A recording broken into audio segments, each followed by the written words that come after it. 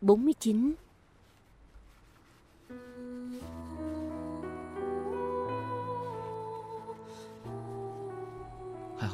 May mà vết thương không sao Chị yên tâm đi。Tiểu Hạ sẽ không sao đâu。Tiểu Thu Em về trước đi。Để chị chăm sóc cho Tiểu Hạ。Còn nữa Đừng để bà và Tiểu Xuân biết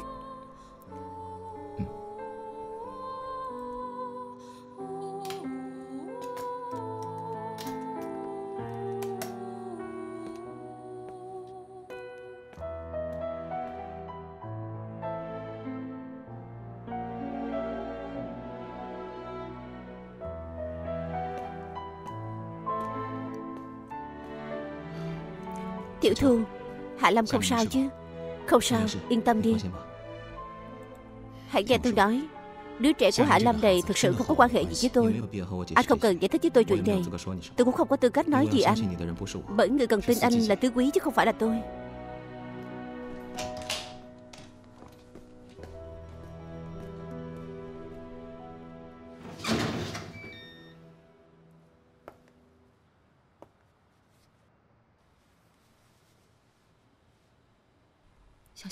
Tiểu Hạ.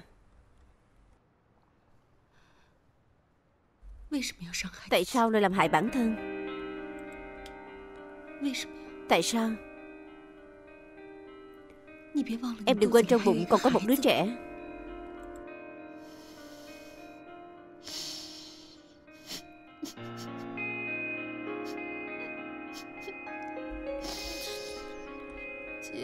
Chị biết em sai rồi. Nhưng đứa trẻ trong bụng em vô tội. Em biết em rất ích kỷ. Em biết sinh con ra. Nhưng còn dịch dịch thì sao? Anh ấy không chấp nhận đứa trẻ trong bụng em.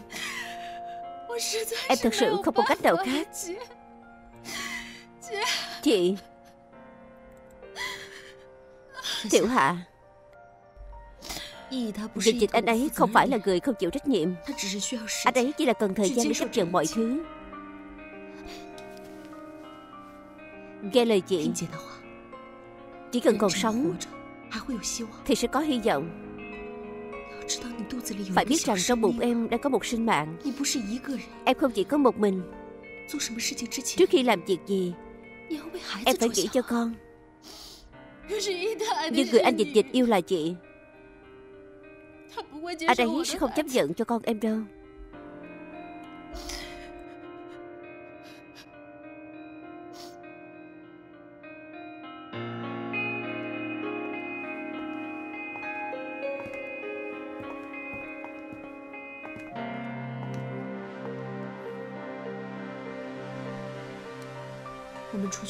Chúng ta ra ngoài nói chuyện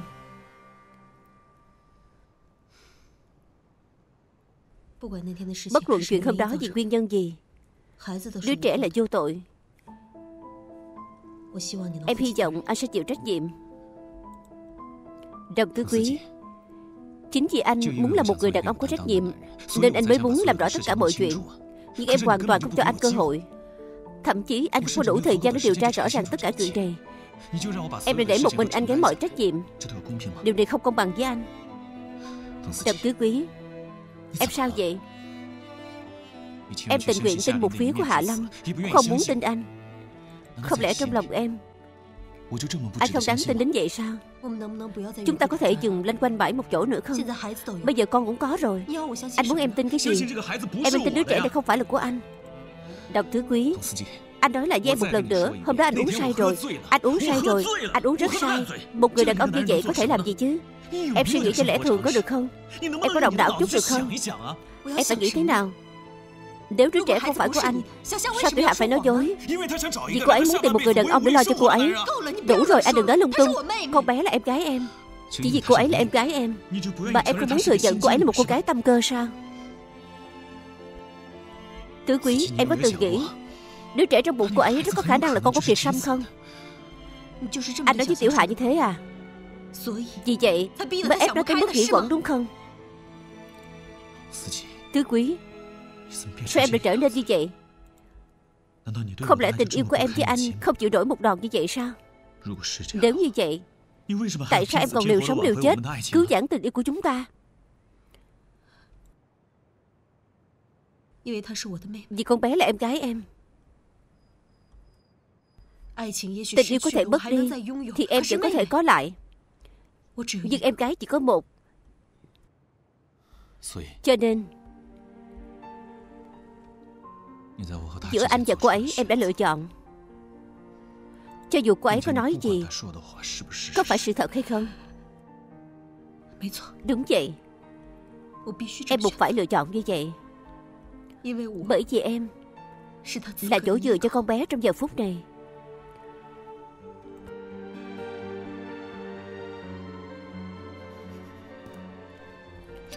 Cho nên Em hy vọng anh làm thế nào? Kết hôn với con bé đi. Cho đứa trẻ. Một gia đình hoàn chỉnh.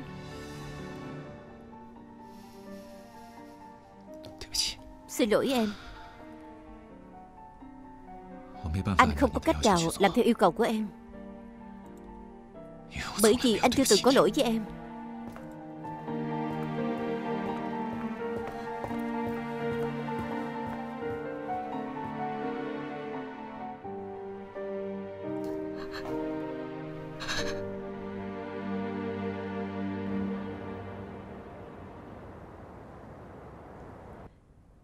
Trước mắt dây chuyền sản xuất Bộ phận phân phối cũng đã thu hồi lại hết.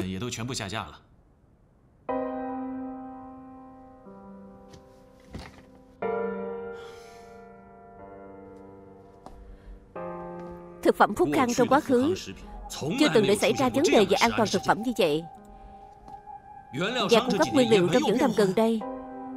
Cũng chưa từng thay đổi. Vấn đề xuất hiện ở khâu nào Và cung cấp nguyên liệu thì chúng ta không thay đổi. Nhưng theo tình hình trước đây, Có lệnh điều chỉnh giá thành. Công ty đã điều chỉnh nguồn cung với nhà cung cấp nguyên liệu. Điều chỉnh nguồn cung sao? Đúng vậy. Việc điều chỉnh nguồn cung do Dương Mã đảm nhiệm. Xuất hiện vấn đề Chính là những nguyên liệu này. Dương Mã đâu rồi? Đã năm ngày nay Dương Mã không đi làm. Cái gì? Ở nhà anh ta cũng không thấy. Vào đi. Chủ tịch. Chủ tịch Lương. Theo người dân trình báo. Quý công ty sản xuất hàng chất lượng kém. Nghi ngờ có liên quan đến gian lận thương mại. Mời đi cùng chúng tôi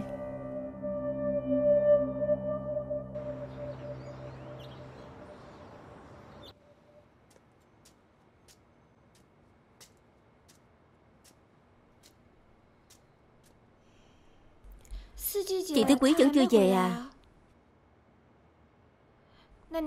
Anh có muốn gọi điện thoại hỏi xem sao không? Dù gì tiểu hạ cô ấy Đừng nhắc người phụ nữ đó với anh. Cô ta và anh không có quan hệ gì hết.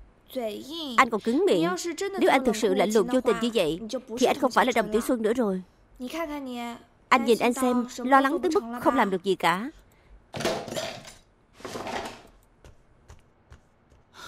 Chính vì chuyện này Khiến anh cảm thấy ngột ngạt Được rồi Vậy cái anh dịch dịch đó Bây giờ thái độ của anh ta thế nào Anh ta có thái độ gì chứ Đánh chết cũng không giận Thật chẳng ra gì Thế thì lạ thật Hạ Lâm người ta đã có thai rồi Sao anh ấy sống chết không giận chứ Anh ấy không sợ Đợi sau khi đứa trẻ được sinh ra Kiểm tra DNA Thì sẽ bị bại lộ sao Đúng vậy đó Anh xem thường người đàn ông này Dám làm không dám chịu Đâu giống đồng tiểu Xuân Anh. Không tiền không xe không già Chỉ có khí phách. Anh có gì cơ? À không.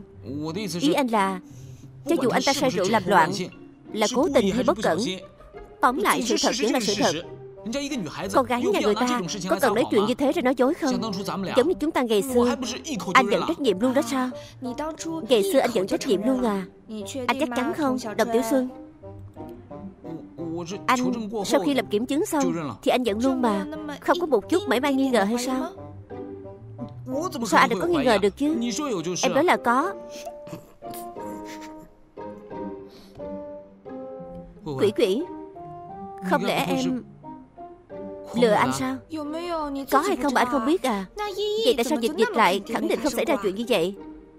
Ý em là Em lừa anh Người ta nhất thời nóng ruột thôi mà Vì vậy Sau đó lại gặp được người tốt như anh cho nên Cho nên em đừng lừa anh Rằng anh và em đã ngủ cùng nhau Người ta không lừa anh mà Chúng ta thật sự đã ngủ cùng nhau rồi mà Chỉ có điều ngủ cùng này Có rất nhiều loại Tiểu bảo nhà người ta thông minh biết bao Ai bảo anh ngốc như vậy Trời ơi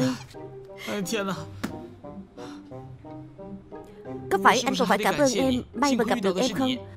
Lỡ đâu em là một cô gái khủng long nào đó, Thì đời này của anh còn phải sống với vương quốc khủng long rồi. Tất nhiên, Vì vậy em phải cảm ơn ông trời Đã cho anh gặp được người xinh đẹp như em.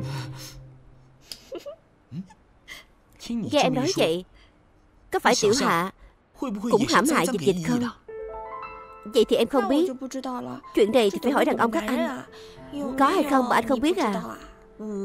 Anh biết chứ? Anh nhớ rõ ràng là không có. Chắc chắn là không có Nhưng em lại nói. không được. Anh phải tìm Tiểu Hạ hỏi cho rõ. Nếu thực sự là Tiểu Hạ đổ thừa cho dịch dịch Thì trời đất không tha Đợi đã Tiểu Xuân. Anh vẫn dễ kích động như vậy. Bây giờ anh đi hỏi Thì hỏi được cái gì? Cho dù Hạ Lâm có nói dối Thì cô ấy sẽ không thừa nhận đâu Vậy phải làm sao? Chị Tư Quý và Dịch Dịch Chính là chia tay về chuyện này. Hết cách rồi. Bây giờ Chỉ có một con đường để chọn. Đó chính là đợi. Đợi Hạ Lâm sinh con ra Mọi chuyện sẽ được rõ ràng. Vậy phải đợi tới lúc nào? Bà ơi. Bà sao bà về rồi? Bà quên mang theo bóp tiền Bà Bà lấy bóp tiền làm gì? Bà đi mua cho Đường Di mấy bộ quần áo.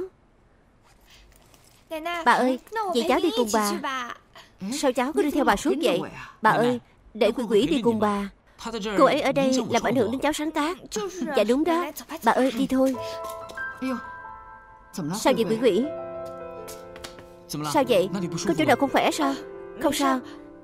Cháu không cẩn thận dấp một cái thôi. Không sao đâu bà Chúng ta đi thôi. Được.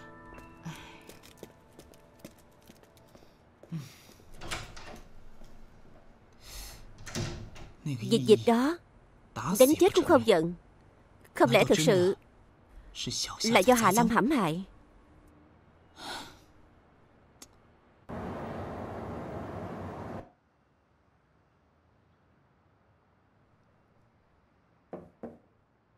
Bây giờ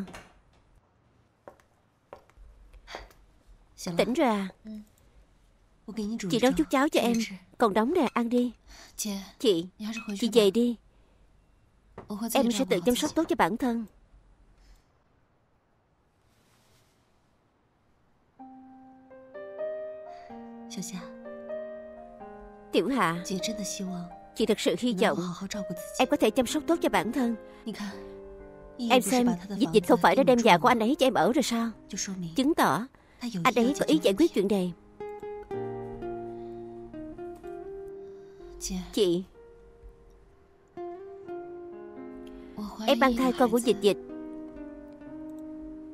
Chị không giận sao?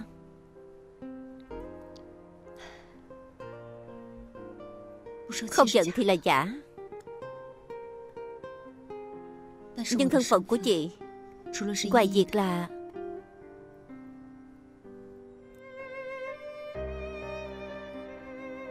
Bạn gái của dịch dịch. Thì còn là chị gái của em nữa.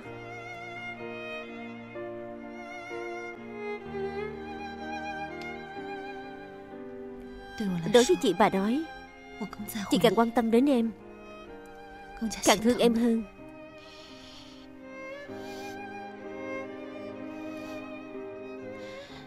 Chị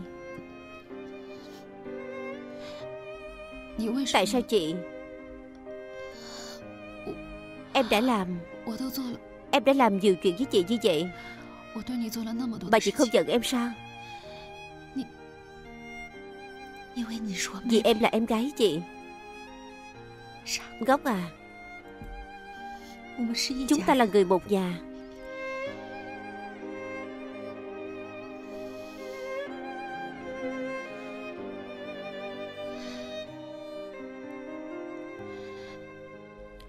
Xin lỗi chị.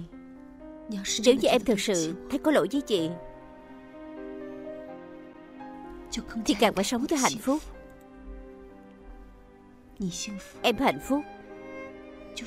Chính là hạnh phúc lớn nhất của chị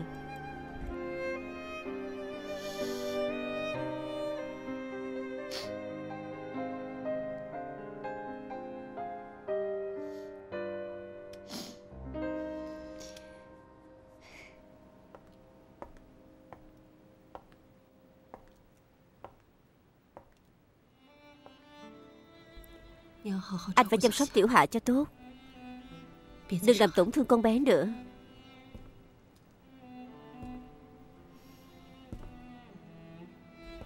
Em bây giờ Đang lấy thân phận của một người chị yêu cầu anh sao? Nếu Tiểu Hạ có sơ sẩy gì Thì em sẽ mãi mãi không tha thứ cho anh. Vì vậy Xin anh trước khi làm việc gì, Nói chuyện gì, Thì hãy nghĩ cho kỹ. Trong bụng con bé có một sinh linh nhỏ. Nếu có sơ sẩy gì, Anh và em, Còn cả tiểu hạ, Cả đời này lương tâm của chúng ta sẽ không được yên ổn.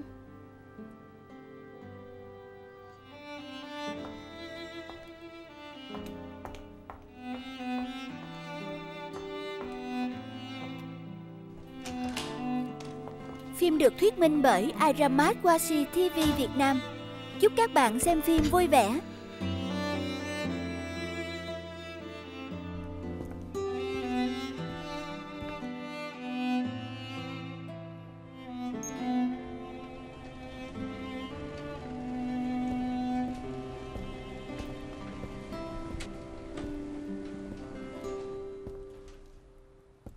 Nhìn tư quý gì cô mà trả giá nhiều như vậy không biết trong lòng cô cảm tưởng gì Nếu cô cho rằng lợi dụng tứ quý Khiến tôi sẽ kết hôn cùng cô Vậy thì cô nhầm rồi Tôi sẽ không cưới cô Trước khi cô sinh con ra Cô có thể yên tâm ở lại đây Số tiền này Là tôi để mặt tứ quý Liều sống liều chết bảo vệ cô Đủ dùng cho cô cho đến lúc sinh nở Nên anh vẫn muốn từ bỏ đứa bé trong bụng không lo đúng không Tốt nhất là ngày nào cô cũng cầu nguyện cho đứa trẻ này là của tôi đi.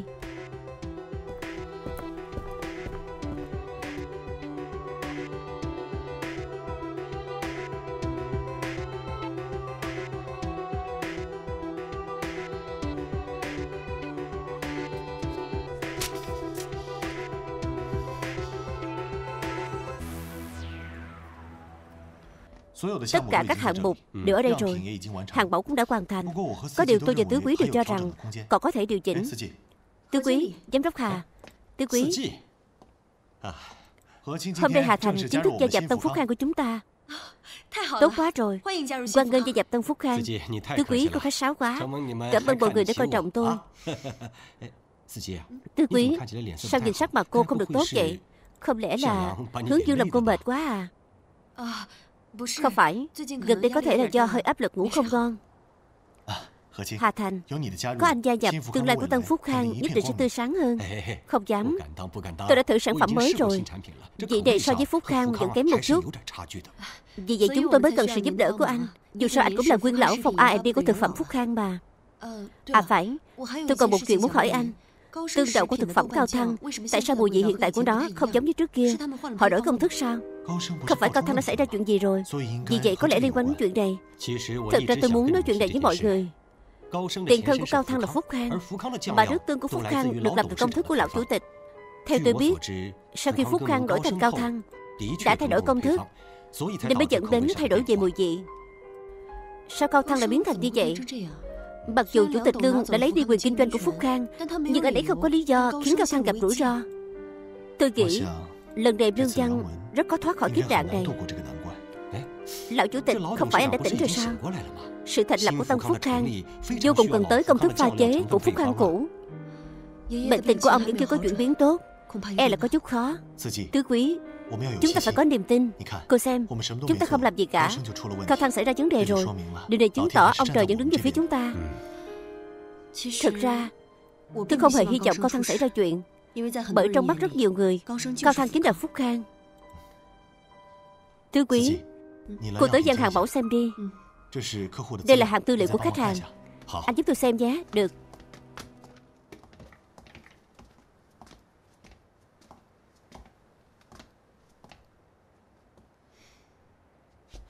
Sao vậy? Tôi nghe Tiểu Xuân nói Tối qua cô đi gặp Tiểu Hạ. Đúng vậy Con bé đã không sao rồi. Bây giờ đang ở nhà dịch dịch. Tôi không sao. Anh đừng lo. Giờ tôi chỉ muốn đặt tâm tư vào công việc thôi.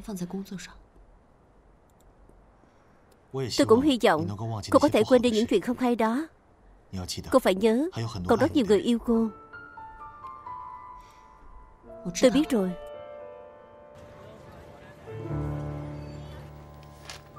Miu Miu Tôi vừa đi ra từ phòng làm việc của chủ nhiệm Lưu Nghe nói đồng tiểu thu không đi Tây Tạng nữa Tiểu thu không đi Tây Tạng à Cô không biết sao Hình như là vì trong nhà xảy ra chuyện gì đó Vì vậy không thể đi Tôi cũng không rõ lắm Chủ Lưu cứ ở đó Nói cái gì mà bảo cô ấy đừng từ bỏ ước mơ.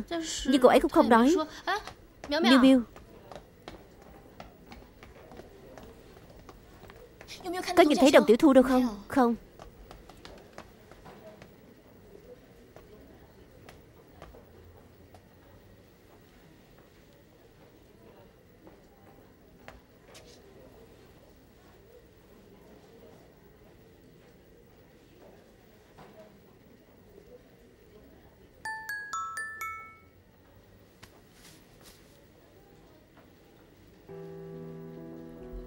Tiểu Thu Anh đang ở đâu? Chúng ta gặp nhau nói chuyện một lát được không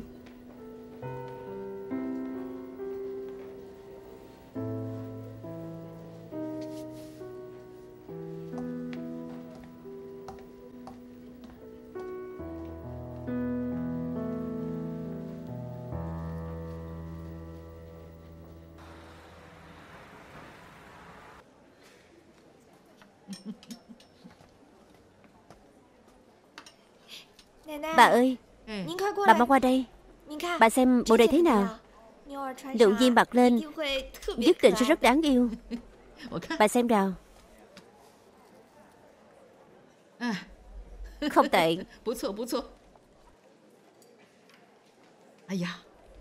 Không được. Đắt quá. Không đắt. Trẻ con không cần mặc đồ tốt như vậy đâu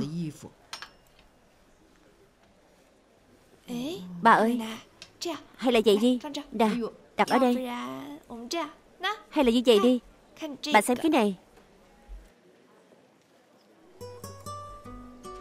Đây là VIP shop.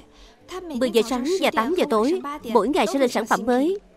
Hơn nữa Có nhiều kiểu dáng hơn ở cửa hàng. Lại còn giảm giá nữa. Bà xem cái này.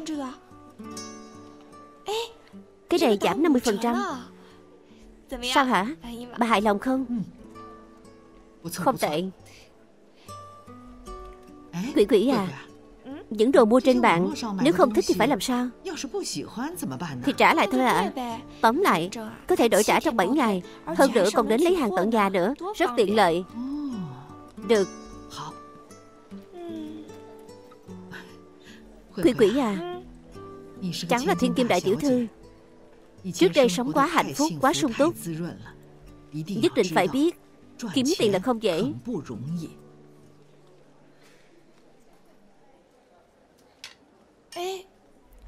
Bà Vừa rồi bà nói cháu là thiên kim đại tiểu thư Là ý gì vậy? Bà biết ba cháu là ai sao? Bà làm sao mà biết được? Cháu có nói với bà đâu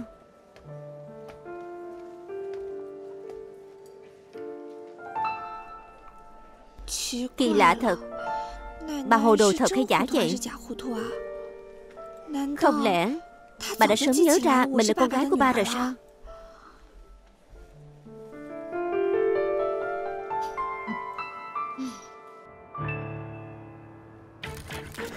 Chủ tịch Lương, xin hỏi ngài biết thực phẩm cao thanh sử dụng nguyên liệu quá hạn sử dụng để sản xuất hay không? Chủ tịch Lương, là để giảm giá thành phải không? Xin lỗi, nghe nói sản phẩm hữu cơ của cao thanh cũng là giả. Có thể giải thích không? Ngài nói về câu đi. Chủ tịch Lương, chúng tôi sẽ giải thích sao? Xin ngài hãy giải thích. Mời lùi về phía sau. Mau nói về câu đi. Bà ơi Chứng mất trí của bà Chắc không phải ngày nào cũng phát tác chứ ạ à? Có lúc sẽ quên mất. Nhưng nhiều lúc bà vẫn nhớ rõ mới đúng chứ. Chứng mất trí nhớ cái gì? Cháu nguyện rủa bà đó à? Dạ không. Cháu không có ý đó. Cháu chỉ cảm thấy hành động của bà Thật sự rất cổ quái. Có những lúc rất minh mẫn, Nhưng một giây sau lại đột nhiên trở nên hồ đồ. Hơn nữa, Cháu lên bạn tra cứu cái chứng mất trí nhớ này rồi. Trên đó cũng nói sẽ không phát tác hàng ngày.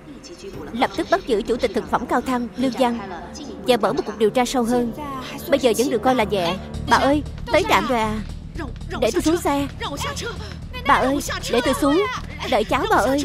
Dừng dừng Bà ơi. Xin lỗi xin lỗi. Bà ơi. Bà ơi. Bà ơi. Tiêu rồi tiêu rồi. Không nhìn thấy gì cả. Không nhìn thấy gì cả. Bà ơi. Bà ở đâu?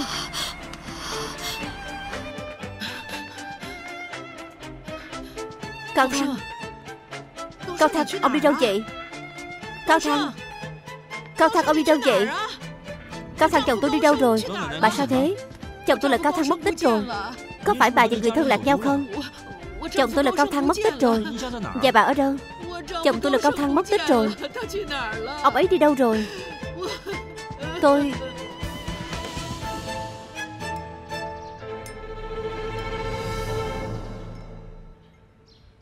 Cô tìm tôi làm gì? Tôi có thai rồi. Cô có thai thì nói với tôi làm gì? Lẽ nào đứa trẻ đó Là của dịch dịch hay sao? Cô nói đi. Dịch dịch bảo tôi bỏ đứa trẻ.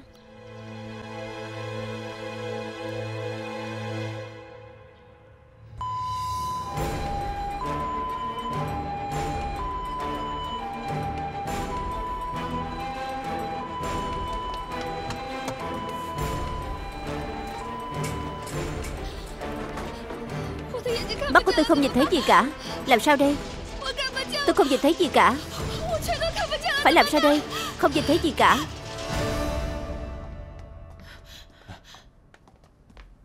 Người chịu trách nhiệm của thực phẩm cao thăng Ở chỗ các anh à? Đúng vậy. Bà lão đi lạc này nói mình là vợ của người phụ trách thực phẩm cao thăng Cao thăng là chồng tôi. Chồng tôi là Cao Thăng Cao Thăng là người tốt. Ông ấy không làm chuyện xấu. Chúng tôi đã phát lệnh truy nã đối với Dương Bả. Nhưng anh là người phụ trách cao thăng Sau này vẫn cần anh phối hợp điều tra. Tôi đã biết. Nếu cần đến tôi Thì tôi nhất định sẽ dốc hết sức phối hợp điều tra. Được. Có một bà lão nói bản thân là vợ của người phụ trách cao thăng. Ở đâu? Ở sảnh tiếp tân đằng kia. Cảm ơn. Mẹ Sao mẹ lại ở đây? Bãi là mẹ anh sao? Sao bãi lại nói là vợ của anh? Bãi là mẹ tôi. Bãi bị bệnh. Có chứng mất trí nhớ Cao Thăng à Gặp được ông rồi. Đi thôi. Về già. Đi thôi. Mẹ Con không phải Cao Thăng Con là Lương Văn Là con trai của mẹ. Lương Văn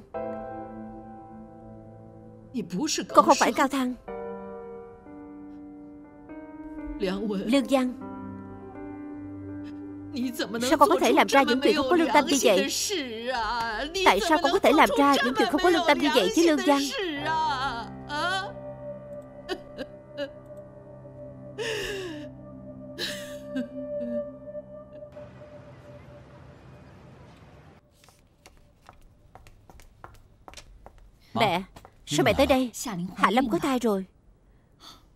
Cô ta đi tìm mẹ rồi sao? Dịch dịch à Chuyện này rốt cuộc là thế nào? Không phải con đang yêu đương với tứ quý sao? Hạ Lâm này sao lại mang thai của con chứ? Mẹ Đứa trẻ đó không phải của con. Không phải của con. Không phải của con. Vậy tại sao Hạ Lâm lại nói là con của con chứ? Dịch dịch à Chuyện này không phải chuyện đùa đâu. Hạ Lâm nói với mẹ rằng Con bảo cô ta phá bỏ đứa bé đi có chuyện này không? Đó không phải là con của con. Con dựa vào đâu mà bảo người ta phá bỏ? Mẹ đừng lo chuyện này. Sao mẹ không lo được? Nếu Hạ Lâm thực sự mang thai đứa bé của dịch gia chúng ta Thì con phải có trách nhiệm? Mẹ, để con thở được không? Chuyện này con sẽ xử lý. Mẹ biết tại sao Hạ Lâm tìm mẹ không? Vì cô ta không đạt được lợi ích gì từ chỗ con. Nên mẹ đừng quản chuyện này nữa được không Cho nên Tứ Quý cũng biết chuyện này rồi. Dịch dịch à Mẹ nói thêm một câu nữa. Chuyện này con buộc phải xử lý cho tốt. Nếu không sẽ khiến chính con và danh dự trước nay. Đều phải trả giá.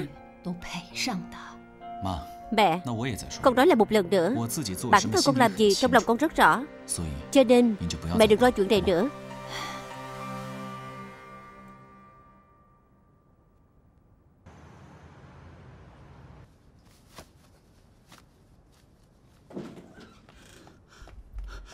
Quỷ quỷ Tiểu Xuân. Em sao rồi Tiểu Xuân? Anh ở đây Em đừng sợ. Tiểu Xuân Em vừa đi xe buýt cùng với bà. Không biết tại sao. Bà lại đột nhiên xuống xe. Em muốn đuổi theo bà Nhưng bắt tự nhiên là không nhìn thấy gì cả. Làm sao đây? Em rất lo cho bà. Lỡ như bà có chuyện gì thì sao? Quỷ quỷ bà không sao Bà được người ta đưa tới đồn cảnh sát。Bây giờ bà ấy đang ở chỗ bố em Chị Tứ Quý cũng đã đi đón bà rồi。Không sao thì tốt。Không sao thì tốt rồi。Quỷ quỷ。Em đã không nhìn thấy gì rồi。Còn quan tâm tới bà。Được rồi。Yên tâm đi。Em không sao mà。Chú Lưu sẽ giúp em mà。Chỉ là chỗ bà thì anh đừng nói với bà chuyện của em nha. Chỉ là Em lại mất một thời gian. Coi bệnh viện là già rồi. Nhưng mà không sao. Em rất dũng cảm. Chỉ là chỗ bà thì Em nghĩ Bà không phải thực sự hồ đồ đâu. Thật ra bà biết Em là cháu gái của bà chỉ là không nói Muốn tìm cho mình một cái cớ thôi. Tiểu Xuân. Anh đừng dạch trần bà. Được Anh biết rồi. Bà Chính là khó tính. Anh sẽ không nói với bà. Bác gái Cháu về thu dọn chút đồ dùng. Lát nữa quay lại. Tiểu Xuân anh đừng tới chăm sóc em nữa. Anh không về nhà Thì bà sẽ nghi ngờ đấy. Hơn nữa Anh sắp phải đi thi đấu rồi. Anh cứ chăm sóc em bảy Thì làm gì có thời gian chuẩn bị. Anh về đi. Đúng rồi Tiểu Xuân. Cháu cứ lo việc cháu đi. Quỷ quỷ để bác chăm sóc. Bác gái. Bác còn phải chăm sóc ông ngoại của quỷ quỷ. Bác đừng khách sáo với cháu mà. Chủ cháu thì cháu sẽ nói. Cháu phải bế quan Chuẩn bị thi đấu. Sẽ không sao đâu không sao đâu mà.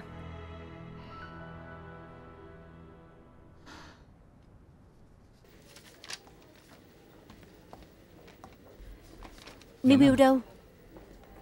Miu Miu à? Điều tới chi nhánh rồi. Điều tới chi nhánh? Tại sao? Chuyện này thì phải hỏi bản thân cậu chứ.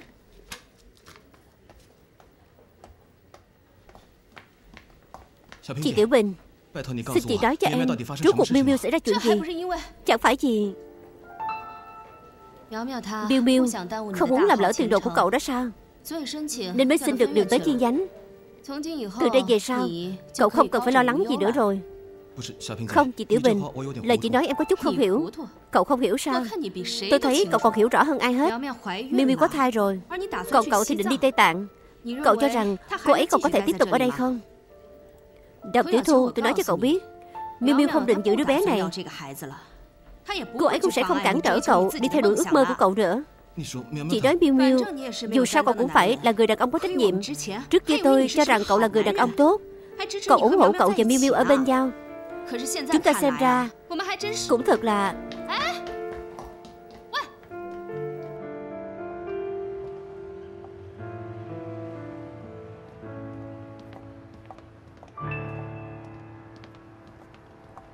Miu Miu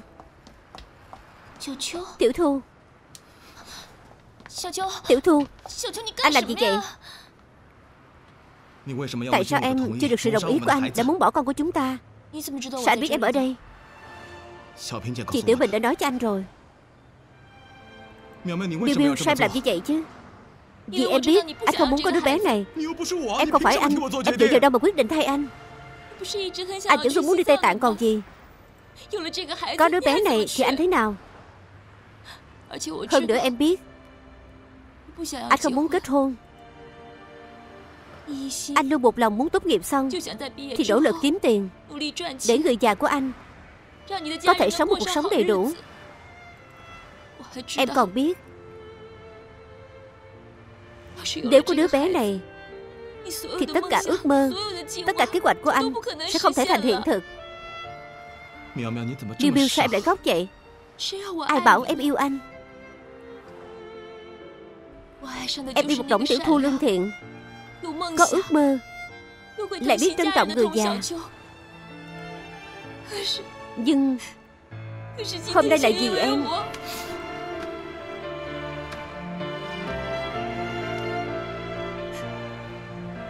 Em xin lỗi. Em hại anh mất tất cả. Em không sai. Em không sai mà Miu Miu xin lỗi em. Hãy tha thứ cho anh. Là anh đã khiến em phải tự mình đối mặt với tất cả. Là em đã làm loạn mọi kế hoạch của cuộc đời anh. Em không làm loạn kế hoạch cuộc đời anh. Cuộc đời vốn dĩ sẽ có rất nhiều chuyện không thể nào đoán trước đang xảy ra. Nếu đứa trẻ này đã đến bên chúng ta Thì chúng ta không có lý do gì tước đi quyền sống của nó. Nhưng anh phải làm sao Chúng ta phải làm sao? Sẽ có cách. Tin anh.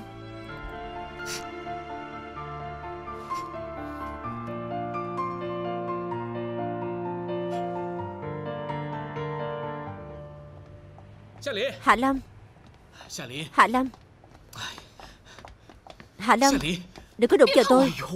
Bà cố của tôi ơi Anh xin em Tổng giám đốc của chúng tôi Chỉ lo lắng cho cô và đứa trẻ trong bụng thôi. Nên mới sắp xếp cho cô đi kiểm tra. Vậy anh về nói với anh ấy. Đừng lo cho tôi. Thì kêu anh ấy tới khoa phụ sản với tôi đi. Chẳng phải là làm khó tôi sao Hạ Lâm. Tôi chẳng qua cũng làm việc cho tổng giám đốc. Vậy sao anh không thay thế anh ấy làm ba đứa bé đi? Tôi đâu dám Không Tôi bảo đừng đụng vào tôi Tôi không đụng Ý tôi là Tổng giám đốc của chúng tôi. Thực ra vẫn rất quan tâm đến cô Nếu không sao phải sắp xếp cho cô tới khám chứ? Cô nghĩ xem Kiểm tra trước khi sinh nở rất quan trọng. Có rất nhiều đứa trẻ mắc những chứng bệnh rất kỳ lạ đó sao? Sớm phát hiện thì sớm được chữa trị. Tôi không nói con cô có vấn đề. Ý của tôi là Tổng giám đốc của chúng tôi chỉ có ý tốt. Cô sao vậy Đau bụng à Cô đừng dọa tôi Anh chỉ nói với anh ấy Bất luận anh ấy muốn giở trò gì Tôi cũng sẽ không bị anh ấy đánh bại đâu Đứa trẻ này nếu như anh ấy không cần Thì tôi cần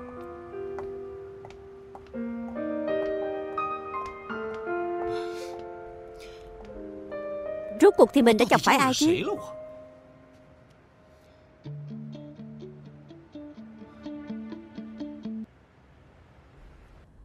Tổng giám đốc Tôi xin lỗi Nhiệm vụ thất bại rồi. Hạ Lâm cô ấy rất tức giận. Do anh không đi khám cùng cô ấy Vì vậy không làm được kiểm tra gì cả. Nếu cô ta ngoan ngoãn đi xét nghiệm mới lạ đó. Không có chuyện gì nữa. Về đi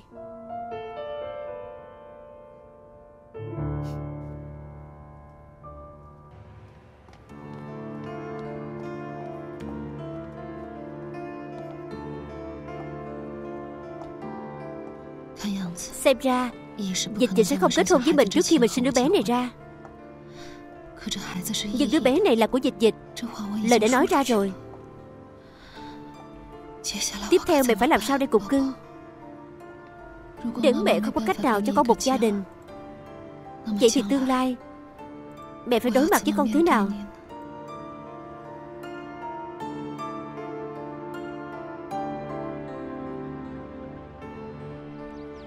Mẹ Chuyện xảy ra ở công ty lần này, Con thật sự không biết gì. Đó đều là nhân viên cấp dưới làm sau lưng con. Nhân viên của con sao? Vậy con là ai? Bây giờ con không phải là người phụ trách thực phẩm cao thăng à? Hôm xảy ra chuyện, Con có thể nói con không liên quan sao? Làm ngành thực phẩm thì quan trọng nhất là lương tâm. Phạm là người biết mở miệng ăn vào bụng Thì đều liên quan đến bạn người.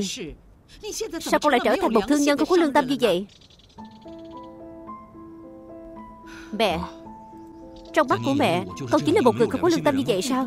Không phải sao? Con không phải. Con chưa từng như vậy. Nếu con không có một chút đạo đức nào Thì con đã quỷ luôn thực phẩm phúc khang Thì có phải xong rồi sao? Nhưng con không làm vậy. Tại sao chứ? Con muốn ba ra đi một cách xứng đáng Con muốn mẹ biết rằng Mẹ không mất đi người con trai này. Sao con lại trở nên như vậy chứ? Lần này con không chỉ phải bồi thường Không cẩn thận còn phải ngồi tù đấy Con biết không? Con biết. Mẹ Con biết đến bây giờ mẹ vẫn không tin con. Mẹ không chịu tha thứ cho con. Mẹ Chuyện cao thăng lần này Là lỗi của con Chuyện này con sẽ không trốn tránh trách nhiệm pháp luật. Con muốn mẹ biết. Con trai của mẹ không phải là một thương nhân chỉ biết cái lợi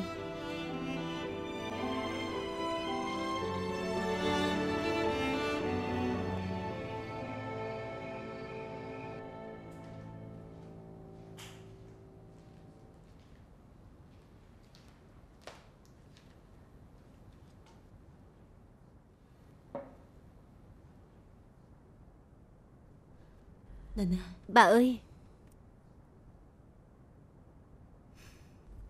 Bà. Tứ quý à. Bà lại đang nghĩ chuyện của thực phẩm cao thăng sao